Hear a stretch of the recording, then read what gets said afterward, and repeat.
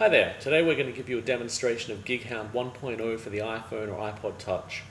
GigHound searches Last.fm and returns a list of gigs that a particular artist has coming up. For example, if we type in Weekend, we're presented with a list of the gigs that Weekend have got coming up soon. Each listing is separated into the date of the gig, followed by the name of the venue and the city the venue is located in.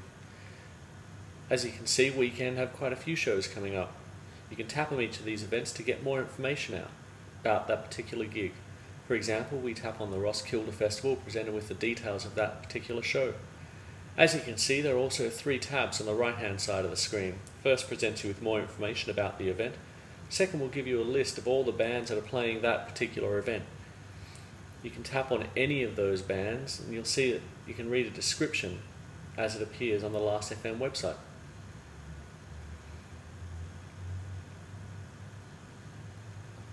The third tab on the right hand side gives you a map of the location where the event's taking place.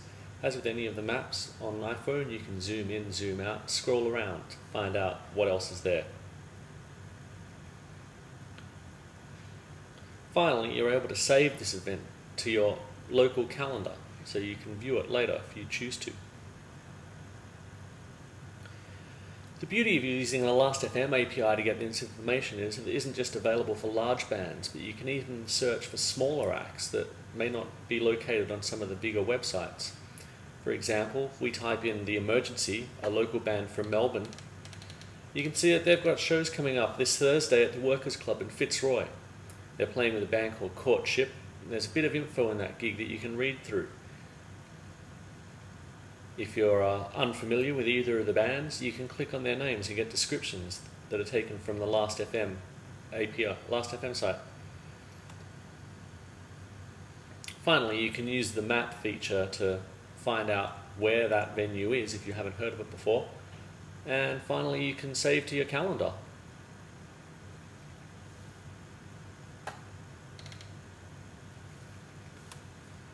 That's about all there is in uh, GigHound 1.0. It's pretty, uh, it's pretty simple as it stands at the moment. We're hoping to build a lot more to it. If you uh, want to get in touch with us, you can do so via www.gighoundapp.com.